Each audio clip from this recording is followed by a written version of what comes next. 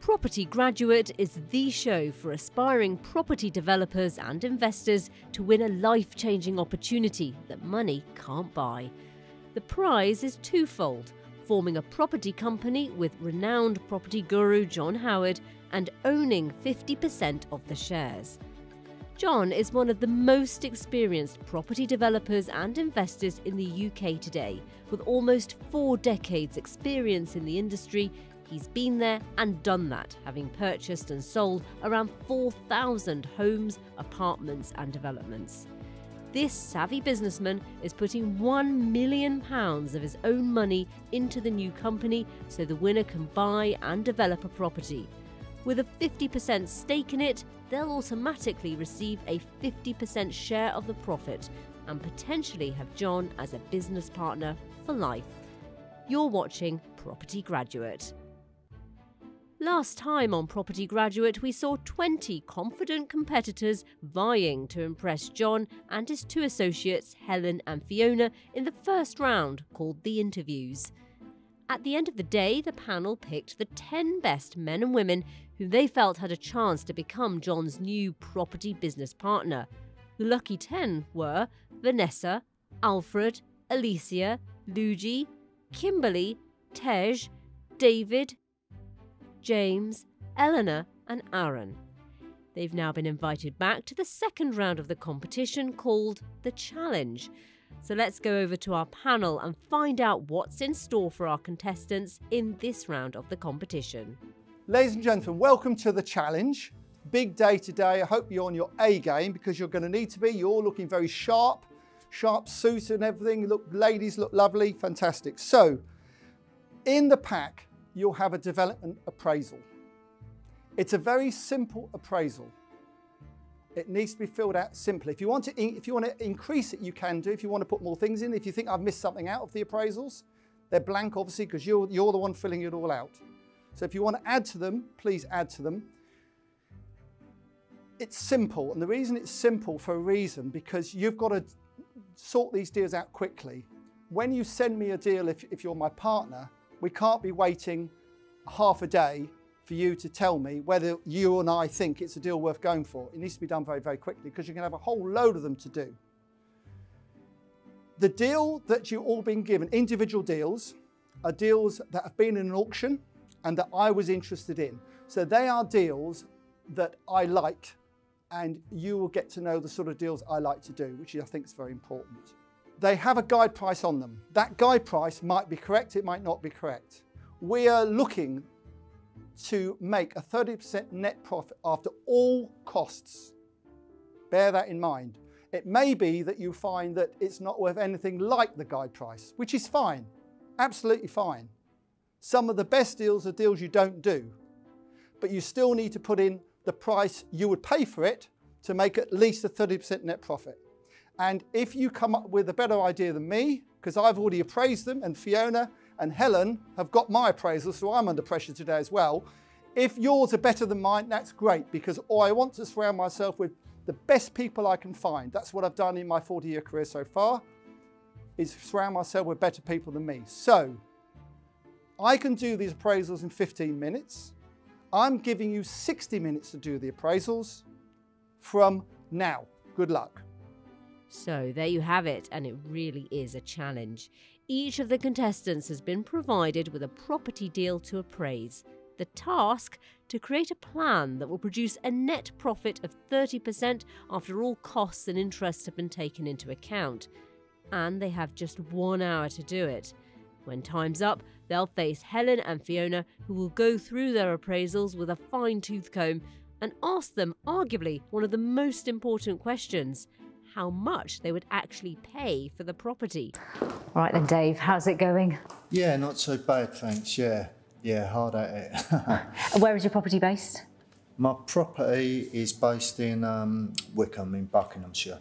Are you familiar with the area itself anyway? I'm not, to be honest with you, no. I know you're hard at it. Um, do you think you can make the figures work? Oh, yeah, I'll make the figures work, yeah, of course. You're confident? Well, I've got to, you know. All right then, good luck. Thanks. Tej, can't miss you. Your yellow top again. Didn't disappoint. So how's it going? It's good, you know, this is an interesting property. It's not something I'd usually look at, so it is definitely challenging. What have you got? I have a freehold former Coast Guard building in Walton on the Naze. Do you even know the area? Um, no, but I know it's near where John lives. Okay, So I know he's picked a favourite for himself. Uh, do you think you can make the figures work? Yes, definitely. There's going to be some some questions kind of in the middle that I'm going to have for myself and I'm going to work through, especially around the construction costs, um, because there's so much you could do with this building. But um, yeah, I'm looking forward to it. And what do you think you'd like to do with it? I think the the sort of most straightforward thing, especially with planning, would be to put flats in it, if possible, to make a little bungalow with the annex. But flats is probably going to be the, the easiest and most uh, profitable thing to do here. You're feeling confident? Always. Is it a good task? It's, um, it's a tough one, actually, I have to say. Um, more so, uh, it's a commercial unit that's in between two units. And um, just looking at what the potential is, whether to convert that all to residential or maybe add an extension. Hi, Aaron. Okay. Okay, how's it going? Um, a little bit stressful. I'm just looking at the time, but yeah, fine. It's good. What have you got then? Um, so it's a it's a care home. Um, not looked at care homes previously. Um, so there's a potential to add uh, another site as well. So it's the same build another 12 units. Now you can also do into flats. That's kind of what I refer to like office and straight into permitted developments. I'm not really sure. So at the minute, I'm thinking keep the existing building as it is. Work out the cost to build the new new one on the side. Work out how much that generates in terms of an income. Times that by a multiplier in terms of what the bank will give us, and then work backwards and then think that's what we're going to offer. Are you good at the numbers? Because that sounds very complicated to Yeah, me. So I, I literally had to strip it down. I was trying to think too creatively first and trying to do too much, and I'm just thinking keep it really simple, but hopefully get these numbers right. So mm. fingers crossed. It's all about the numbers, isn't It it? is, yeah, yeah, yeah. And the profit. Absolutely. So I just need to work on that now. So fingers crossed. We'll get there. Tense is it definitely is. tense. Okay, good luck. Thanks for your time. Vanessa, Hello. how is it going? Is this a tough call? It's, uh, it's going okay. I mean, it's in some respects because it's already got planning. It's a okay. Well, I need to price it up and see if it works based on the planning they've got. But actually, what I'm trying to get to is, can I be more creative than that? Can I think differently and not just follow the prescribed plans that they've already got? And will the figures allow? Exactly, exactly. Um, so yes, it's trying to know what I'd offer based on what they've actually got versus what I would offer if I was doing it slightly differently. But there's no floor plan, and I rely on a floor plan. So I'm having to. I've tried to look up the planning application, and I'm trying to get through to the documents. But um, yeah, it's it's tough. It's the time pressure. I'm used to doing very detailed. I like to. So I was on the phone with an agent saying, okay, tell me about this local area. What do one beds, two beds go for? What if they're high end? And I would usually take a bit more time about that. So it's the time Yeah. pressure that is the the crunch here. But um, but yeah. Are you good at the maths? Is that your strong Um, point? I'm not good at mental maths, but in general, relatively comfortable with figures. So yeah, arithmetic is not my thing, but um, yes, in general, a feel for numbers is, is fine. But I am very much relying on Excel. Luigi, now I understand there's a bit of a problem today. You've had throat surgery, so you can't really talk. Um, but are you feeling confident? Right, okay, good. All right, well, I will wish you luck, and I'm so sorry about your voice, and I hope it returns soon. Um, but good to know that you're feeling confident and you're, you, you think you're okay with the figures and the calculations. Nice one. Okay, best of luck. Alicia, you're busy tapping away there. Are you on your calculator? Uh, no, I'm actually looking at Rightmove at the moment just for some comparables. But yeah. How's it going? Um, really well. It's interesting actually. I've, ju- to be honest, I've not even got into the numbers yet. I'm just doing some background Okay. digging on the property and, and obviously some of the planning applications that have gone in. So, what property have you got? So this is um, it's actually St Albans Hall. So it's a- an in, it's an inter- a building of interest in the area. Um, so it's in a conservation area. Obviously, there's a few challenges with the planning. Planning has been refused on this to convert to a care home. Um, but actually looking into the detail of it, it seems it's purely because they're going to demolish the Victorian range, which is of interest. So I think if you could retain that, potentially a conversion to residential would be favourable because it actually says that in the scope at the bottom in the uh, officer's comments. So Okay. it looks like it could work. It's just now we're getting jumping into the numbers now. I, are you good with numbers?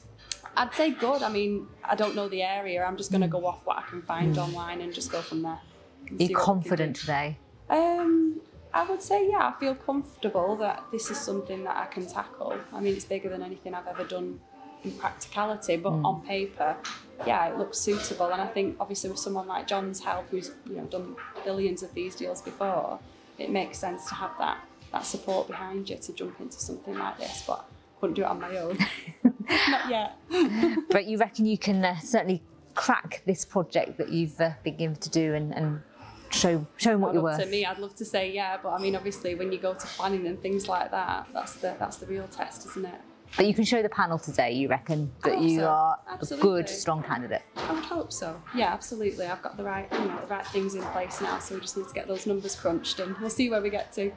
I'll let you get on, you're very you. busy. Thanks, Bye. Alfie, it's a big day. Yes. How are you getting on? Doing okay. Deal isn't what I would be used to. So What, that's what is it? it's um, ex- for existing flats which just need a bit of uh, modernisation. And that's not really where my expertise is. That's just kind of doing a new kitchen, new bathroom, a bit of a lick of paint really. um, and that's just not really where, where I'm set up. But it's a challenge, so I'll give it a go. It's about the numbers as well, though, isn't it? I mean, this is about creating something really good that you could then get a profit from. Do you reckon you can make the numbers work? Yep, definitely. Yeah, I was I was well practiced, but uh, some of John's um, just like assumptions he makes aren't necessarily what I would I would say, so that does complicate things a little bit. But uh, I think I'm there now. I think I've got the number we need to pay. I mean, you are the youngest candidate here. Um, does, is that weighing on your mind, or are you just going to go for it? It just depends what John's looking for, really. We I don't know what he wants, and uh, maybe neither does he. But it'll be interesting to see see how it goes. All right, well, good luck. Let's hope you can give him four really good flats that will turn a profit. All right. Thank you. James, how are you getting on? Okay, thanks. He's, uh, John's thrown me a little bit of a curveball.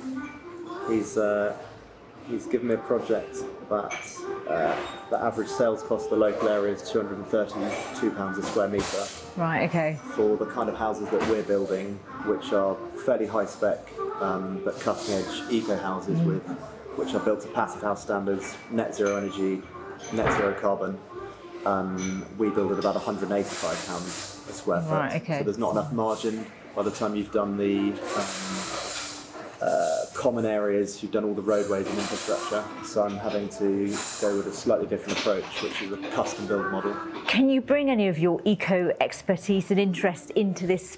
Ab- absolutely. task. Um, and also, I've gone with a slightly different model here, which John said he didn't like last time. So um, I'm, I'm kind of risking it all here, but it will make the project work and means you can make 30% return um, and still offer a decent amount for the asking price. Because it's all about the profit and it's all about that return, exactly. isn't it? And it? it also manages your uh, risk with, with less finance uh, needed. So you reckon you can do it then? You sound positive. Uh, I think so. Um, I mean, I know this model works. It's just whether or not I can convince um, Fiona, Helen, and John. Kimberly, your time's up. Yeah, that's How's it I was gone? Only, I was only uh, How's it gone? going round. It's been mean, hard. There was a lot to do in the time. Um, you know, I'm quite a detailed person, so it, it's been a good challenge actually in practice for this to do really high level. Um, so it's been really, really good. Strip back the analysis, and it was good actually. It was a good one for me.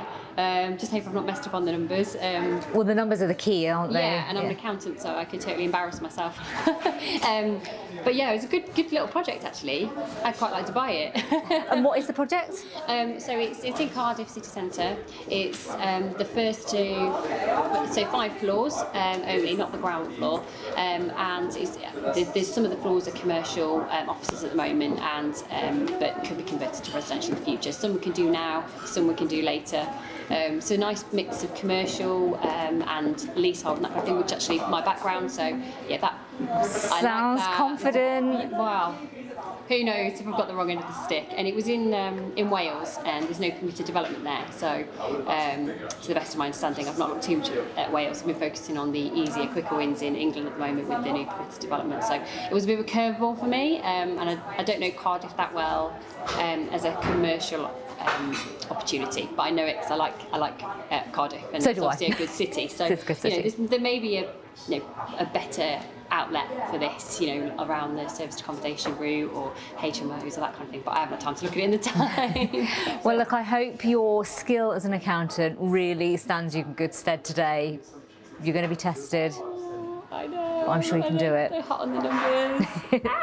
I may have right. made a major mistake, but nonetheless. Well, you won't be forgettable because you're in a striking yellow dress. Yes, so. exactly. Yes. So it's gotta go Girl well. In the yellow dress. All right, good Not luck. Bikini. No, well, that would be a different Yellow show. bikini. All right. Thank you. Good luck. take this off before I get this on. The hour is up, and the competitors are locking in their numbers and handing them to Helen and Fiona to review. Join us after the break when David is grilled on his appraisal.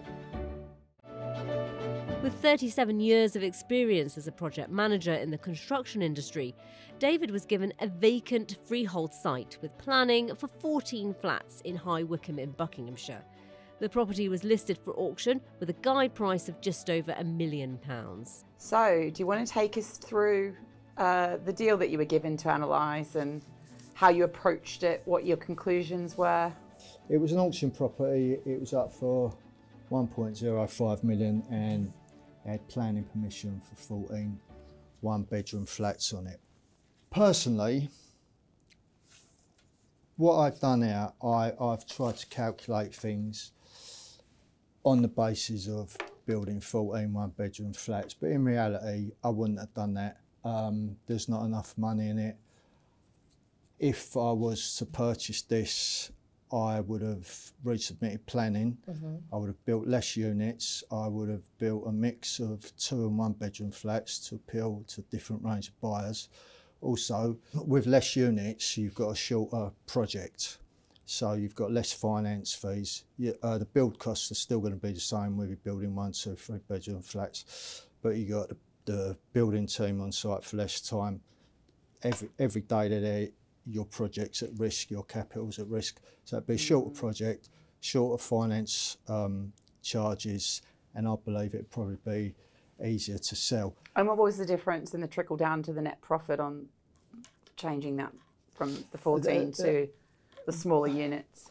depending on how many less you, you, you would have built, you would have had less, uh, sorry, you would have had a smaller GDV, but there or thereabouts the same net profit. You would have had less expenditure, less cost, less GDV, and the same level of profit. I'm um, not going to waste your time. I got the figures wrong on this, um, and I'm not going to pretend I got them right. Did you run sort of both sets of numbers, you know? I, I didn't, and uh, you know, I, I'm going to be dead honest there. Um, I'm old school, right? If you're looking for someone who can whiz through some uh, thing on a laptop in 15 minutes and come up with numbers, it ain't me, right? I'm pen and paper man with a calculator, and to do this properly Yeah, would take calculator. me half a day. Yeah, it, mobile phone, and the, it just if that's what you want, it ain't me. This, But did you do it with a pen and paper? I, I always do it with pen and paper, always, and I don't care what anyone thinks, because then I can see it in front.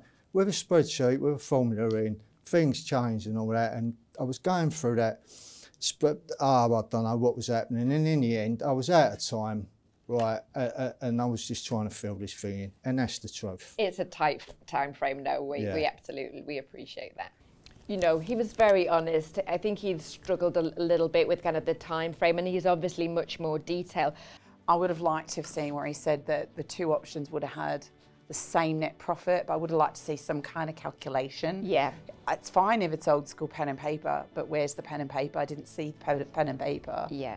Next up is Eleanor, who wants to inspire other women to become property developers like herself. Eleanor was given a vacant freehold mid terrace three story building in London that was placed at auction with a guide price of up to £1.5 million. Oh, welcome back, Eleanor. Uh, you have a um, nice little project in central London. That's my hood, so it'd be really interesting to understand what you made of this. Talk us through your numbers and what you do with this property. Uh, it's a commercial um, building.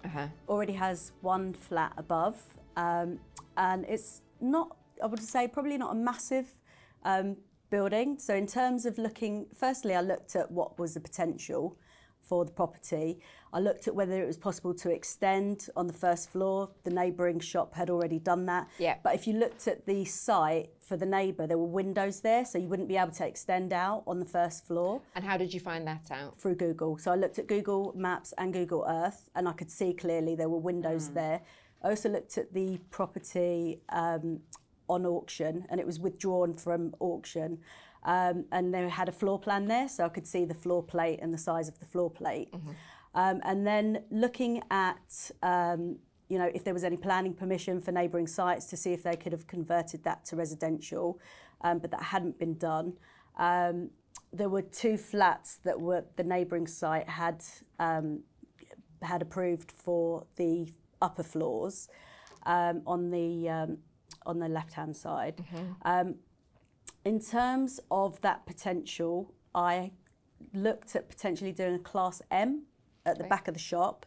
Um, but you wouldn't, the floor plate was too small, so maybe you'd need to do that as a duplex with the first floor. So just keep within the minimum space standard. Yeah. And then potentially for the second floor to go, then go up in the loft and do maybe another duplex. So it'd end up with one bedroom flat and a studio and a smaller shop front, which would be 23 square metres, which um, related to the um, rateable value. So if you looked at the rateable value for that commercial unit, it was only 23 square metres. That's quite small though. So what It kind is, of tenant would you envision? So that would be more of a mom and pop, just a sort of start-up business um, potentially. Would they have a for- toilet in that 23 square metres? Yes, I mean you'd create create one, but I mean if you looked at the rateable value um, in Mm. that um, for that particular unit, that's just maximising the the price for that sort of square meterage. But I assessed that, but that wasn't the plan that I picked because. The reason for that is that the GDV was 1.4 million, Okay. which was what the, the guide price was 1.4 to 1.6 Yeah. And I just couldn't make the numbers work. Yeah. So for me, that would be a no deal. But that was looking at if I did a commercial conversion. Yeah. So then I looked at doing a residential conversion, which would be to convert that into a three bed and a two bathroom. Um, what I didn't like about that option is it's sandwiched between two buildings. And firstly, while the range of prices in that area would have been anything from 850 to three and a half million, which is a lovely range. And you look at the mid price, 1.6 GDV, to convert that to residential is not going to cost a lot because you're not changing like the exterior or extending, you're just really refurbing. Yeah. Um, Did you consider a HMO? uh, you could do, um, but um, in terms of just for me, I just thought the values there probably be better to get um, a, a house. But um, it again, I just think that it didn't really stack as much. Um, the reason why the HMO, it's just the, the number of rooms is just not enough to make it Mm. viable. So for me, I would have passed on this deal. I wouldn't have done it. I think if you were going to to basically buy it, it would not be anywhere near guide price. Right. I would be looking at buying that for like 900 grand, not anymore. Um, so I would have actually, you know, passed on that deal personally. But if you were to, to buy it to get a 30% profit, then it would need to be in the 900 range. Okay. So you're when you'd gone into kind of costs and contingency and that those numbers that you have there are all based on the if you were going to make it into a kind of single family dwelling. Yeah. Right, okay, understood. So this wouldn't work for you, but is this the type of deal you'd like to do or would you do something different? Yes, I mean, for me, what I would look at is probably a couple of things. Either take a commercial unit and then look to do do a commercial conversion. So whether that's a flat in the back or look at additional floors. You know, I do love this type of project. I'd say it's perfect for me. Yeah. And one thing I would say is that I would be able to help John find a much better deal than this. But this type of deal um, would be something that I would be able to. Um, and there was no do. income numbers. uh, There was nothing that was supplied there, and I looked online and in the deck, I couldn't see anything. Okay. And how did you feel about gi- being given this particular project to analyse? So, so first I was like, oh great, a commercial conversion, and then I was actually a little bit disappointed that there wasn't much development potential because for me, Mm. I was like, I wanted to come here and like wow you with like you know being able to like add some extra floors or you know create like a flat in the back and be clever with like you know how to kind of create more residential space um, through this, but there so wasn't. didn't, you didn't feel it was given it, you it gave you enough to work with? More that it didn't give me an opportunity to show you my best. Interesting that this is her kind of thing. So she got quite Yeah. quickly to actually this doesn't work and that doesn't work. And um, if she's looking in this type of area, then the one million available for the purchase, then Mm. tho- that type of sum is going to be She- needed, particularly she'll London, spend it. yeah, yeah, yeah, yeah, yeah. Do join us after the break when we see how the anxious investor, that's Aaron, and Oxford graduate and investment banker Vanessa got on with their deals. First up, we have self titled The Anxious Investor Aaron. He's been given an interesting property in Norfolk. It's a former residential care home which has planning permission for an additional building providing 12 bedsits. The property was placed at auction with a guide price of £1.3 million. So let's see how Aaron got on. How are you? I'm good, thank you. How are you? Good. Not bad at Nice all. to see you again. Nice to see you as well. So, how did you feel when you were given this to, to analyse? Oh my God. Um, so firstly, I would not uh, present this to an investor in terms of my numbers this way. Um, but yeah, it was, um, when, when I first got it, I was slightly overwhelmed that I've never done a care home before. It's not something that I've ever looked at. So that and a combination of looking at the way John has his appraisal just threw me off ever so slightly. Um, so I was just like, Not just you, not just yeah, you. So which, I, which I was great. Well, I wasn't that's glad to hear that people struggled, but at at least it made me feel a little bit reassured. Yeah. Because I normally try to work from the end in mind and work backwards. Right. And this kind of looked like you were looking at the front essentially. So uh, played around with it a little bit, realised there was no. F- Sorry, I'm speaking and you haven't asked the question. Should I carry on or? Oh yeah, no, You- carry Yeah, on. apologies. Keep so, going, um, keep going. My thought process was, okay, I've done a commercial conversion prior to this. Uh-huh. Normally we look at the, the floor plans and see how we can chop it up into flats.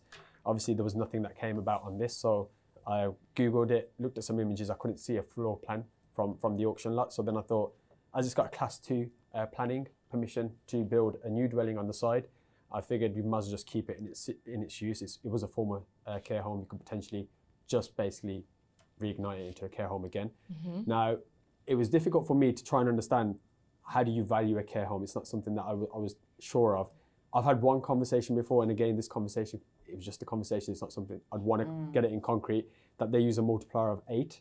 Um, a Google search has shown me five to seven afterwards. So that was a multiplier that I used. I essentially looked at spare room, open room, uh, Rightmove, um, Zoopla, just that looking at what rents are going for for studio properties. Um, I also looked at the local housing association of 113 pounds and 50 pence, and, I, and I kind of went with the, the, the conservative figure of 450 pound a room. Um, I also looked at what care homes make. Um, they make anything of up to 13, 1300 a week, but I thought I don't know what the overheads are or anything in relation to that. So I kind of just stuck with 450, um, and then I, I looked at how many dwellings, sorry, how many units we have essentially, times that by the annual income. and So you were looking at just keeping it as a care home and re-renting Essentially, it. yeah, and then essentially working at the build cost for um, the side where I think it was an extra 12, was it? An extra 12 bed sit units. And did you pick up that the, that was granted in 2010? I, I did, yeah. So then I went on the planning portal, and I know they're, not, they're normally lapse in, in terms of that, but it, it just obviously said appeal accepted, and there was nothing else there. So I thought it'd probably be pretty straightforward to get that done again. Again, that was an Yeah. assumption on my on my behalf there, a question that we could ask. And then I, again, I, I did the build uh, relatively cheaper than probably flats because I thought they're going to be bed sits. They're not going to be most most likely standard 37 and a half or 39 meters squared. So I went slightly. I'm not sure if it's too too cheap on that. So I think eight, 80 pounds is what I went with with that. Uh, worked out what the build cost was. Again, Did you try working it through based on the guide price? I ignored the guide price for this example because I thought that's irrelevant at the end of the day. It's the way I work at it is what is the NGDV minus Uh-huh. the thirty percent profit. So I do profit off the GDV normally. Yeah. Minus the thirty percent. Work out what all the holding costs are, the professional fees, everything that comes into play. Have a ten percent contingency or fifteen percent, and then obviously work out the timescales. And then whatever that price is, I never really look at that. If I'm being completely honest. Um, and then that's when I was had all my information on the computer and I was trying to put that down onto a piece of paper. And as you've seen, and the letter as well, even the envelope, I think I've jotted numerous things on that. So it is a bit of a mess in terms of Yeah. coming to an actual figure, which is disappointing for, for, for myself. But you managed to get to 30% net of GDV. Yeah, so again, Not on I- cost, though. Yeah, it got Yeah. it got to the point where I just thought I need to do this my way. How do I think? So in the Sure, last ten minutes, exactly, that's what I did. So I thought, what's the NGDV based on the calculations from the rental income, Mhm. i.e., an asset that's producing income? Took thirty percent off. I then realised obviously got stamp four four percent as well. So then I thought need to take that off as well because that's that's obviously in, in that first purchase uh, cost there, and that's essentially how I came to to that number again. I would really need to look at this uh, in a lot more depth before obviously ever offering that. But based on my thought process and what I've just explained to you guys, Mm. that's how I stumbled across that number. Was an hour long enough? I, I think an hour would be long enough if, if again, this was uh, an office unit, for example, flats, I could I could Something in your it. wheelhouse, yeah, so to and if I didn't get too fixated on looking at the way this was appraising and thinking almost like, you know, when you're at school and you're trying to answer exams, and like I needed to answer it this way. If I just had gone away, Mm. done it my way, then got those numbers and then essentially plugged them into here. And, and that that's just that I, I take full responsibility for that, but that's just something that I could I could have just brought into afterwards. And in terms of if you could, you know, kind of go back and do it again. So in terms of getting the floor plan, or what, what kind of things would you do, differently? So if this was if this was a project, for example, that I was looking at in an auction, the, fir- Mhm. the first thing I'd definitely do is I, like I always do, I always take builders around because that's that's they know a lot more than myself, and that's what I did with my previous one. I took three builders around different times. I work out the costs. I look at the floor plans. I see what we can essentially, what I think based on my experience, we could chop it into Yeah. in terms of what we can convert it.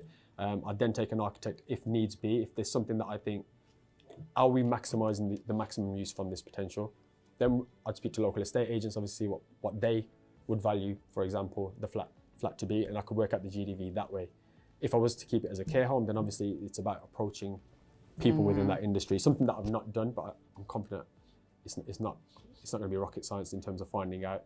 Uh, I'm not sure if they take it on a lease or they require a certain. I, I wouldn't know the conditions to that, but I would, I would essentially find that out. Okay, great. Well, thanks for giving us your review. Yeah. Uh, Thank Thank you you for your very time. much. Yeah. appreciate and it. everybody found the found the time, you know, a challenge. Yeah. So Yeah. don't worry about that at good. all. Well, Right. Yeah, thank you.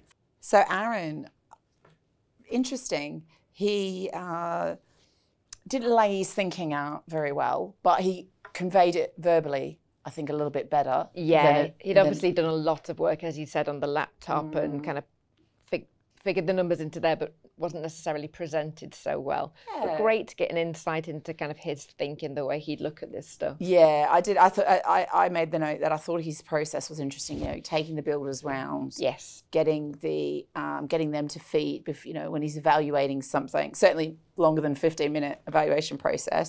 Oxford graduate and investment banker Vanessa is up next. She's been given a four story mixed use building, which is currently arranged as a retail unit on the ground floor and office accommodation above, with approval for change of use for the upper floors. The guide price at auction is £700,000. Join us after the break to find out more about Vanessa's plan for the property. Welcome back. Let's go to Vanessa to find out more about her plans. Hello. Hello, Vanessa. Welcome. So you have a mixed use building with planning already. So let us know, talk us through what you, you made of that, uh, what numbers worked for you, uh, give us some Yeah. insight into kind of how you worked stuff out. Sure. So, in terms of the mixed use element, because the commercial was rented for a longer period of time and also being city centre, I didn't feel the council would be interested in a new application to try and turn it all to resi. So, effectively, the commercial I just left as is. Right. Um, I think I undervalued it now I look back, but I focused on, on the resi above. Um, not having a floor plan, I, I tried to find it on the planning portal but couldn't. But um, the I would like to think about whether the, the car parking space could be extended over. Sorry, did you check up? There was a planning reference on there. Yes, I put in the planning reference, but when you went to documents, it took you to a weird link that didn't Oh, open. okay. Unfortunately. And if this was a, a real live Hmm. deal and that happened, what would you do? Um, I'd probably call up the council or um, go through and, well, I, I, you can either look on Google Earth to look at the layout of the building and, and try and work it out. But in terms Or of you- seeing, sorry. Yeah, or you could go to the auctioneer and. Uh, Okay. Yes. Yeah, Yeah. Yeah. yeah. and No, get good, details good off them. point in, in, from the auction perspective. Yeah. Um, yeah. So, but I would have looked at whether extending out across the, the parking meant that did you lose windows? Did you lose the option of balconies? Because all those things you have to weigh up. Would it be possible in a subsequent application to put another floor on top Mhm. under a full planning? Whereas I think that one was permitted development only. So that could have been another option. Um, so looking to extend it and reconfigure out, uh, over and above the 11 units that were currently there. Also, it does look like that the office was given prior approval to change to residential. Y- yes, they're, they're the office floors on the first, second, third floor. Oh, okay. Not the retail on the first exactly, floor. All right. Yeah. Um, but because of its location, being Devon, beach town, Mm. it did make me think, could this be an SA block? Mm-hmm. And Mm. put it as service accommodation, have either either a manager managing it or sell it to a management company. Commercial valuations, I know compared to I've used bricks and mortar because that felt like the more realistic one to work from. Right. But there is the possibility of a commercial valuation coming in higher. Sure, sure. And what type of yield were you getting on the service accommodation option?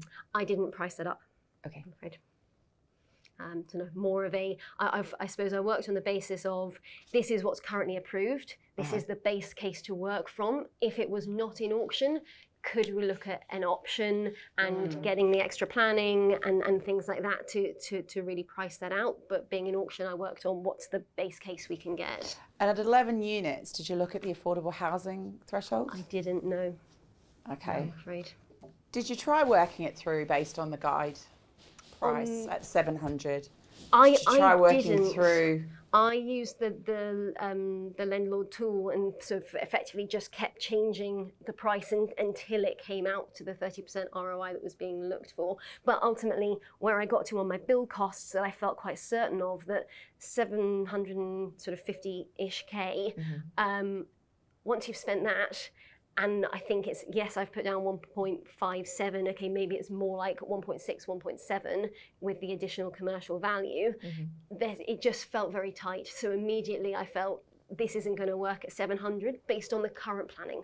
If there was an option and we and there was more that could be done, um, I've then more room to, to, to play at the 700. But I, in terms of the GDV, I picked up the phone, found a, a similar Rightmove ad, and just called the local agent and said, Oh, "Tell okay. me, t- tell me about the area. Yeah. One beds, two beds. How does it work? What type of tenant in this area?" Mm. And so my GDV calculations for the resi were based on that conversation uh, with that local agent.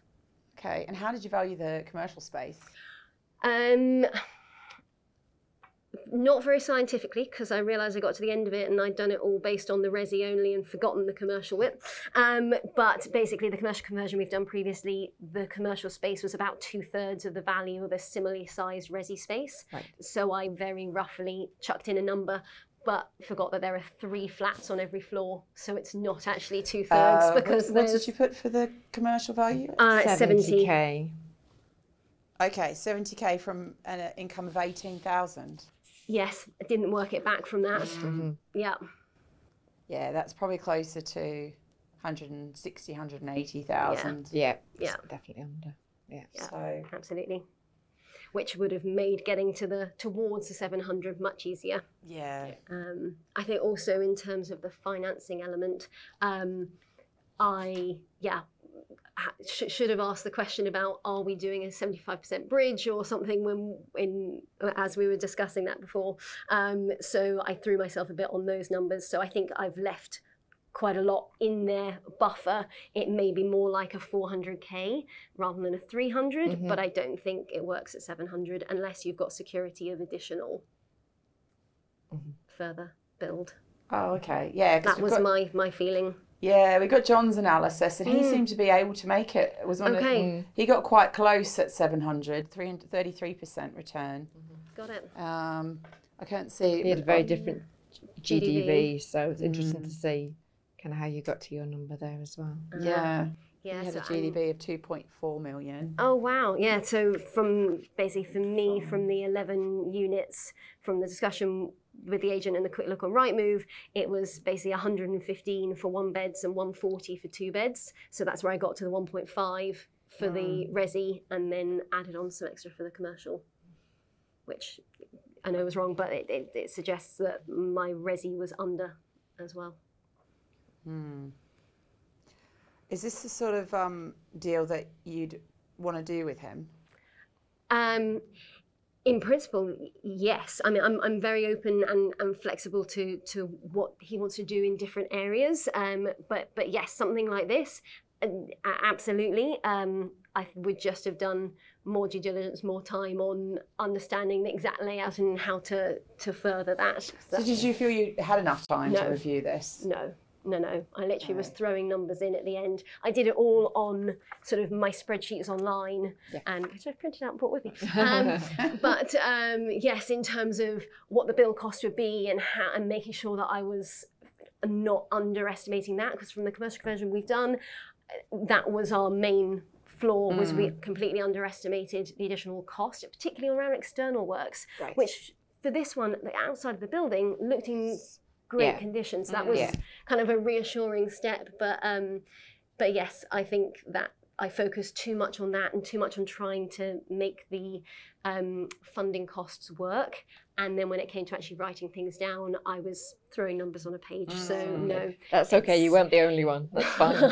It was uh, yes, you may say there's two different numbers in different margins as I just sort of kept putting stuff in. But no, not my finest work. So what do you think when John says he can review something like this in 15 minutes? I- impressive like I- and I, that's probably um, Experience. experience market knowledge so for me I, it, yes i drove through devon to cornwall a few weeks ago but do i know anything about that market that area mm. no. So actually the first bit was just understanding how that works what the other properties in the area are like which in most of it was flats above resident, uh, sorry, um, above retail, um, and what's the type of tenant in that area. Yes, there's the beach. It's not as nice as Torquay, but it's it's sort of understanding that local area. Well, maybe when you've been doing on. it 30 years, you'll be able to do it in 15 minutes. too. Yes, yes, very, very impressive. I would love to get to that point. Thank you very much, Vanessa. It's been great to understand how you looked at this. Thank you. Thank you. Well, it's been great to see how Vanessa looked at this. Uh, very honest about uh, the, you know, how how you know it was a little difficult for her. Yeah, I, I think she struggled a- struggled a little bit, which slightly concerns me given that this is the type of deal that, that she wouldn't do. She hadn't looked into a number of different things we asked her about, but you know, we gave them 60 minutes. It, it is a really tight time frame, so you know, completely understand that. It's we're not John and his 15 minutes on the back 15 of the minutes, pack, bag packet, yeah. are we? So uh, Yeah, I think you know she she didn't really value the commercial property side, and then when she did realise valued it uh, about half as much as John's assessment. Yeah. So yeah, uh, not always easy to do. Missed the car parking spaces. yeah. Maybe got a little bit overwhelmed, busy, but she did. You know, she called an agent. She's gone and looked at it. Uh, she's done many things well. She has, and actually, I liked that she brought in her previous experience. She knows where she kind of she went wrong on on her previous experience with the costs. So great that Mm. she would be conservative around that. Yeah, difficult to follow the written appraisal numbers though. It's sort of a lot, um, look all over the place a little bit. I like to see it a bit tidy. I feel like a teacher. but uh, you know, still, she's um, she's got she got the job done.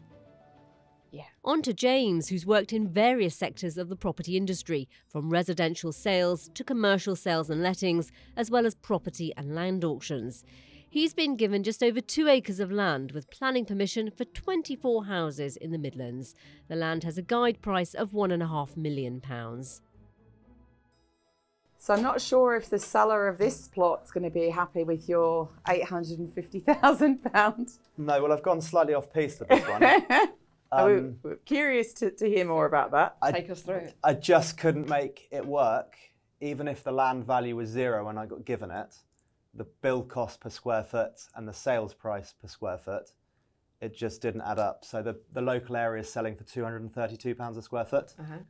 We're building about £185 a square foot, and that's turnkey. So that's that's your um, uh, groundworks, landscaping, everything. Um, so there was there was just not enough margin to, to be looking at this as a new build development. I And, sorry, was that using your sort of green building style or Absolutely, yeah. That's traditional building, building? To, building to passive house standards, um, which is what we do.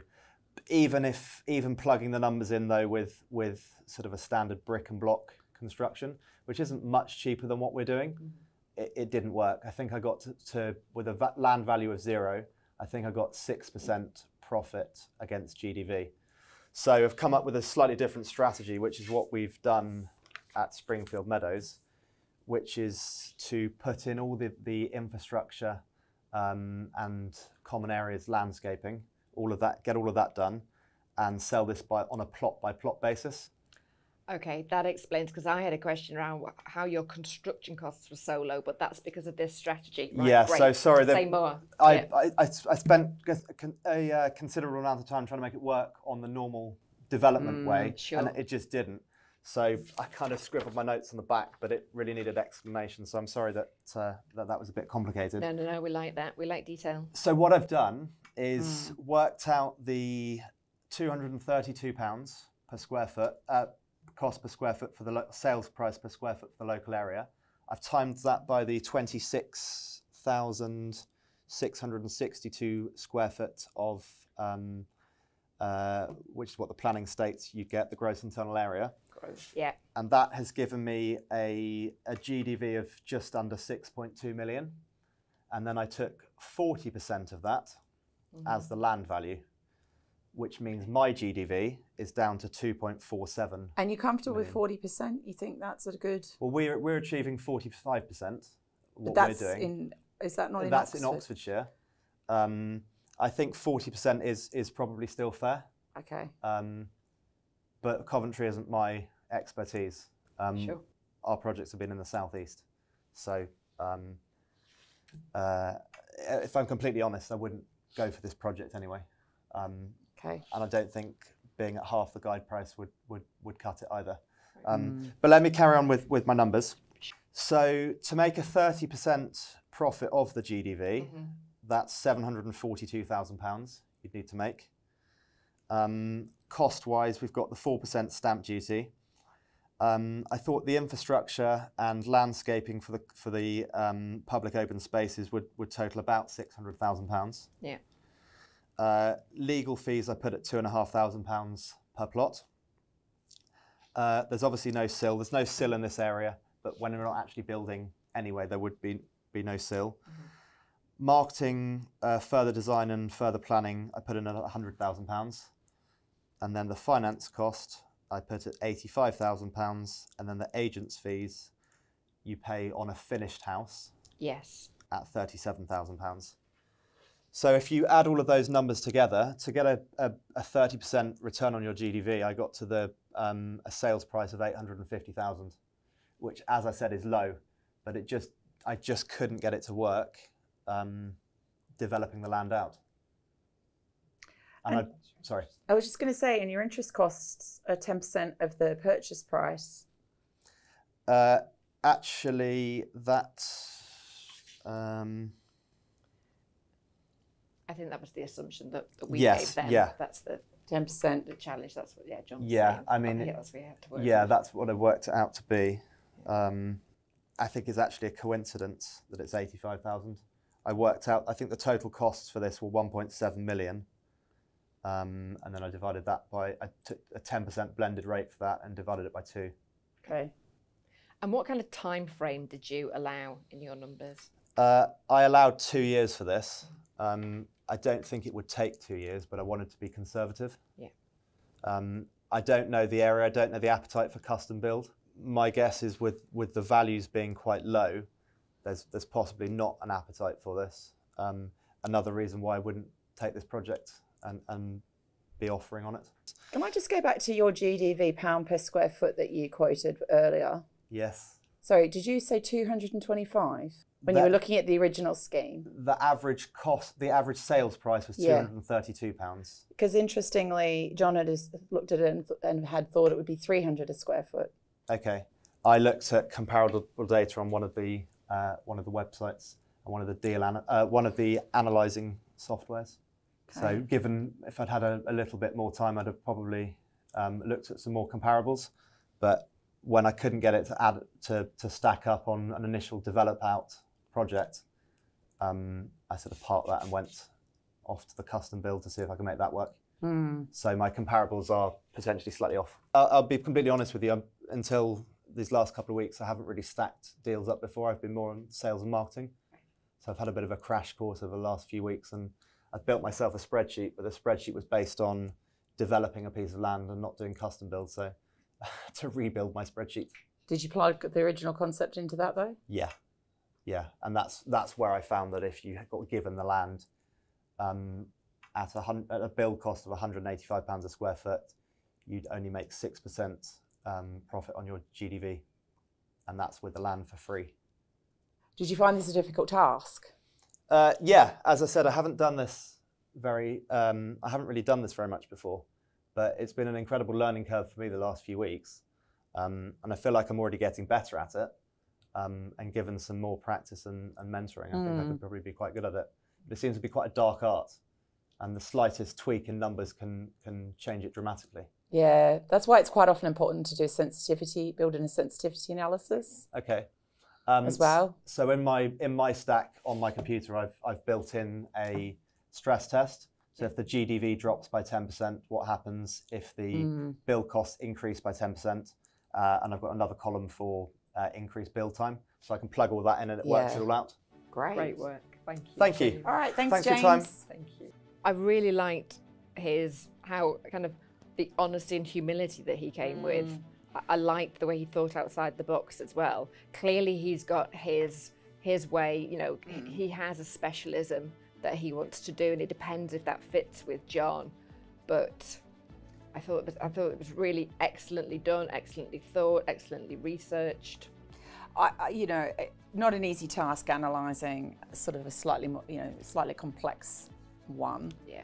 Uh, I think um, his GDV was different. John had made it work in his own analysis. Yeah. He didn't have the same end sale value, which flawed the whole model. Yeah.